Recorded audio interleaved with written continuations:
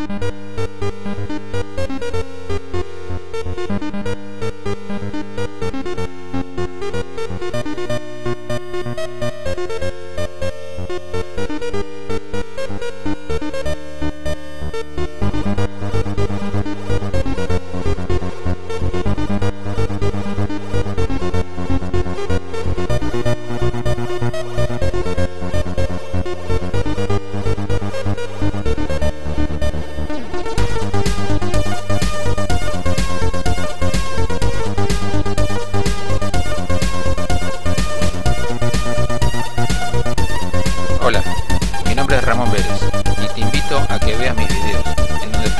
las ideas e inventos que he estado acumulando a lo largo de los años. Te espero. Amigos, encontré el paraíso de los amantes de la fotografía. Acá tengo un, un- un amigo que nos va a mostrar eh, cada una de toda esta colección de máquinas de foto que le voy a mostrar ahora. ¿Mm? Emilio, empezamos. Por donde vos quieras. Hola, ¿qué tal? Eh, mi nombre es Emilio Leota y estamos en el negocio Ramos Generales, local 156 del mercado de San Telmo. Eh, nosotros somos apasionados, nos especializamos en el tema de la fotografía y viendo el perfil tecnológico este, aquí de mi amigo, vamos a charlar un poquitito de tecnologías realmente muy muy antiguas de la fotografía. Vamos a empezar por una de las cosas más antiguas y más elementales de la fotografía, que es que la fotografía se forma con metales. Eh, verbigracia, plata.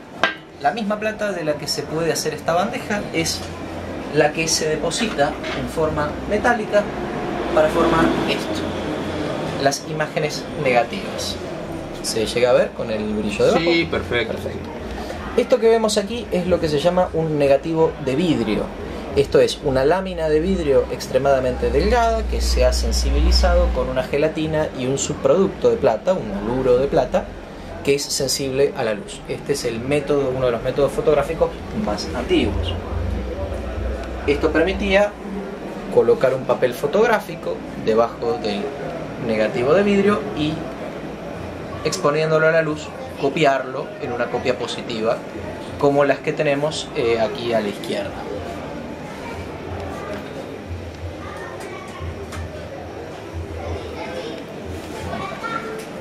Ahora bien, el dispositivo tecnológico fotográfico evolucionó muchísimo y muy rápidamente a lo largo del tiempo. Por ejemplo, tenemos aquí una cámara Brownie, que es una cámara que quizá muchos de ustedes conocerán. Eh, Fue una cámara desarrollada por Kodak a principios de siglo que fue lo que puso la fotografía en manos de las masas. Esta cámara utiliza un eh, rollo de 120 milímetros que afortunadamente todavía se consigue, con lo cual esta cámara es aún al día de hoy 100% funcional, lo cual es bastante sorprendente. Estas cámaras lamentablemente eran extremadamente limitadas, lo cual hizo que tuviera mucho éxito un segundo desarrollo, que fue el de las cámaras folders. ¿Por qué le llamaban folders estas cámaras? Porque se doblaban a sí mismas. Eh, exactamente así. Básicamente, la cámara consistía en un soporte para la película, un fuelle que protegía la proyección luminosa dentro de la cámara y un obturador donde se combinaban un, sistema, un lente con un sistema de enfoque y un diafragma eh, de tipo un, diafragma eh, en general no eran muy luminosos, eran 4.5 o 5.6 y un obturador compur, es decir, un obturador central de anillo. El obturador no obturaba la película, sino que obturaba eh, el último elemento óptico del lente. Entonces, tiene un sistema de enfoque extremadamente primitivo. En general, eh, algunos modelos, como esta ISOLED de la década del 50, eh, permitían enfocar a la estimación, es decir, no se podía ver lo que se enfocaba girando el último elemento. Otros simplemente movían todo el cuerpo del lente sobre el fuelle. Estas cámaras son también, eh, aún al día de hoy, muchas de ellas funcionales porque utilizan rollo 120 que todavía se consigue. Yo personalmente tengo una de estas y les puedo asegurar que el resultado es ¿Podemos ver el, interior donde va Sí. la película? Sí, cómo no. Deme un segundito. Como ven, el negativo de esta película, al igual que el de la Brownie que yo les mostré recién, es un formato cuadrado, es decir, un aspecto 1 a 1, eh, de 56 por 56 milímetros, lo cual da un tamaño de imagen increíblemente Y ahí se ve el grande. interior del, del fuelle. Exactamente, aquí estamos viendo el fuelle del lado de adentro. Este rollo es un rollo raro comparado con el de 35 milímetros porque utiliza una especie de huesito de plástico central alrededor del cual eh, se enrolla la película que está protegida del lado de atrás con un papel. Si me aguantas un segundito, te muestro. Aquí tenemos un rollo moderno, este rollo no debe tener más de 3 meses. Este es un rollo de Tri-X 400, muchos de ustedes quizás lo hayan, lo hayan utilizado. ¿Ven? El carrete de plástico, la base de papel y la película. Este rollo lamentablemente se ve, lo hace que lo podemos usar de forma demostrativa.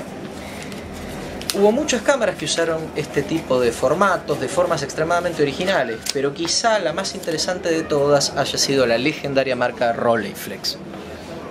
Esta es una marca alemana que en la década del 30 produjo esta pequeña joyita.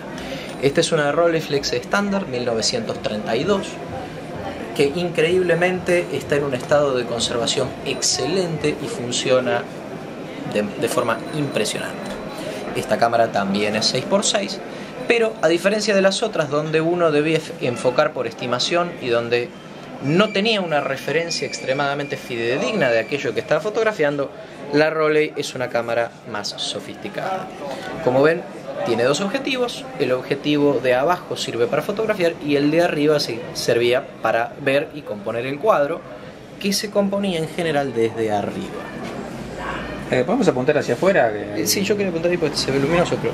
A ver, Aquí a ver si podemos. A ver, ¿se ve? Sí, vamos a pasar la mano por, por acá para que se vea que. La verdad que es bastante cómodo eso. Sí, sinceramente sí, es un sistema extremadamente confortable para operar la cámara.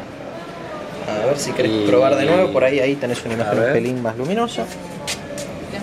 Sí, estamos en un, recinto cerrado, o sea. Sí, claro, eso es, No podemos. es un pequeño inconveniente. Eh, estas cámaras realmente fueron legendarias, muchísimos grandes fotógrafos de la historia de la fotografía las han utilizado y este, debido a su extraordinario nivel de calidad, muchísimas de ellas han sobrevivido a nuestros días.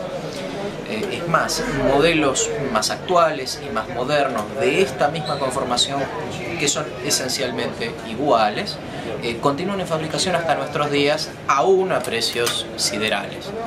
Es una cámara que yo sinceramente recomiendo a todos aquellos que quieran probar la fotografía analógica. Bueno, veo que tenés una colección amplia. Si tenés alguna otra máquina que tenga alguna característica saliente, ahí veo una que tenés sumergible. Ah, ¿esta? Sí, Eh, ¿Qué recuerdos? Esta es una, es una cámara hermosa. Esta es una Minolta Weathermatic que básicamente usaba un rollito 110 que todos hemos visto en fiestas, cumpleaños, Sí, sí, en reuniones familiares. Era un formato amateur muy común y muy popular. Y la gente de Minolta tuvo la idea de sellar la cámara de forma tal de que se pudiera usar eh, cuando uno iba al mar o en general más bien a la pileta. Eh, esto era una cámara un poco cara en su momento, pero extremadamente divertida y para la cual sorprendentemente también se sigue consiguiendo rollo. La marca Lomo todavía sigue vendiendo película diapositiva, blanco y negro y color para este modelo. bueno, y ahí veo también que tenés una, una cápsula para, para ¿Esta de bucear. No, no, esta. Ah, esta. esa, sí, eh, a ver, un segundito. Bueno, esta personalmente me trae muy lindos recuerdos. Ah, sí, Yo tenía una como esta, pero color rojo Ferrari, imagínate. sí. Eh, era muy divertido para llevarla a la pileta cuando uno iba de vacaciones y demás. Esta cámara es una cámara de 35 milímetros, china, muy barata, muy elemental, muy sencilla y que da una calidad bastante mediocre. Eh, lo divertido de esta cámara es que ya en su momento era una cámara extremadamente económica y que permitía hacer de cualquier reunión en la pileta una fiesta. O sea, se lo podía dar a los chicos para que saquen fotos sin. Exactamente, esta cámara tenía un sistema de foco fijo, con lo cual no era necesario enfocarla. Y eh, tenía un lente fijo, una velocidad de obturación fija, era extremadamente sencilla. Bueno, espectacular. Para cerrar, ¿por qué no, no, me comentás un poco el tema de los fuelles y los agujeritos en el fuelle y ah, esa, esa, teoría? Me había olvidado. Sí, mira, te cuento. Hay una teoría, yo no la he llegado a comprobar, pero eh, existe, eh, sobre que algunas cámaras de estas como la Isolet que mostrábamos recién, que tienen un sistema de fuelle, a veces se le producían pequeños agujeritos. Eh, sí, por el normal desgaste, digamos. Por el normal desgaste porque eran de cuero, sobre todo las más antiguas. Sí. ¿Cuál es el tema? Eh, si el orificio era lo suficientemente pequeño y la luz exterior lo suficientemente importante, algunos de estos agujeritos funcionaban como el orificio pequeño de la cámara estenopeica. Entonces formaban una segunda imagen eh, de, en general, menor intensidad que la que producía el lente, a un costado de la imagen según el ángulo y la suerte. Eh, esto en general generaba imágenes eh, de baja resolución, de muy alto brillo y generalmente como muy desanamorfizadas, con lo cual era difícil de leer. Pero creaba la idea o la sensación de que un fantasma había sido registrado dentro de la fotografía. Esto es, eh, es una anécdota bastante curiosa. Bueno, bueno, creo que cubrimos todo, ¿no? No, no me estoy olvidando de nada. Bueno, acá tenés una colección completa de tamaños, lentes, eh, flashes, y en general todo lo que el amante de la fotografía pudiera querer. Eh, ¿Por qué no repetís dónde estamos? Sí, cerramos. Mandamos el chivo entonces. Eh, esto es el local Ramos Generales, local número 156 del Mercado de San Telmo, Bolívar 954.